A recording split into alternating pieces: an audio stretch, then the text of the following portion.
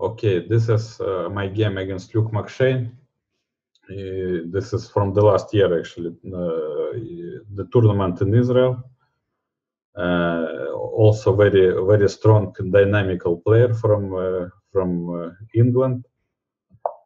I played black, and we have a type of Benoni structure, but with reversed colors yes and uh, i think first uh, first critical moment was here. Actually as, as i said already critical decisions uh, we have uh, i have some choice here. Uh, for instance i have uh, bishop d6 move and i have for example I'm, i don't know for example or not but knight d7 also the clear way how to deal with pawn structure because I have to defend d4 pawn, but you have to choose uh, the way how to do it. Okay, just uh, also I'll ask you to think a few minutes uh, and make a choice between bishop d6 and knight d7. What is the better?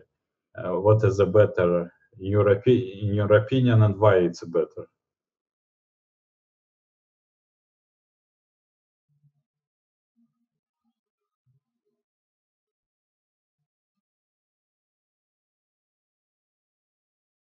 Yeah, actually, I think we have more than enough answers because indeed knight d7 is a safer way actually. Because uh, again, if we are talking about statical and dynamical advantages and disadvantages, actually my position is quite good, uh, quite good because, uh, for instance, knight d7, rook e1, e5. okay, the, the structure is quite tricky normally but uh, quite tricky and complicated. But actually, uh, after d3, for instance, I have bishop b4, nice move. And uh, in general, in general, Benoni structure nowadays is considered to be considered to be good uh, for, for the side who has a space advantage. I mean, now this is black playing like white normally, and uh, I think this is just good for uh, for black in this particular par, particular particular uh, position. So there is no reason to to, to neglect uh, such a position like knight d7 and d5.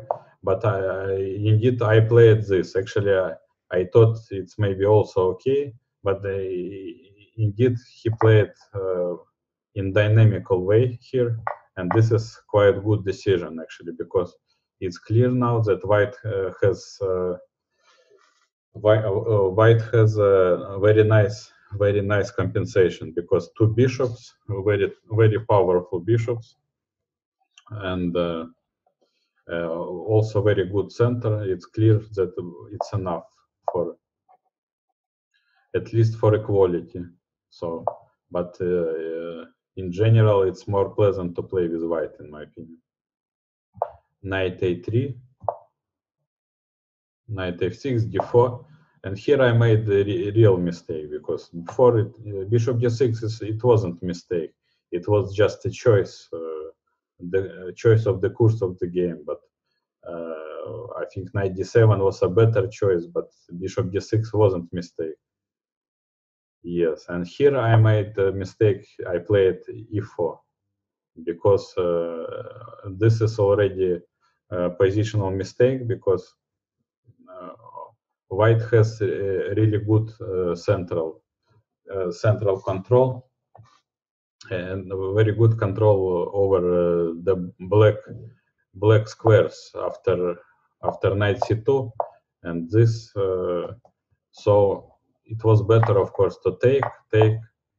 Uh, yes, uh, take take.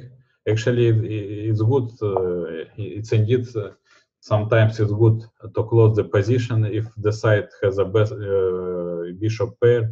But now, actually, uh, it's just it, it's just strategical mistake because I'm giving up so so much dark squares here he, he will play after d5 he's just controlling all the dark squares over the board. Okay,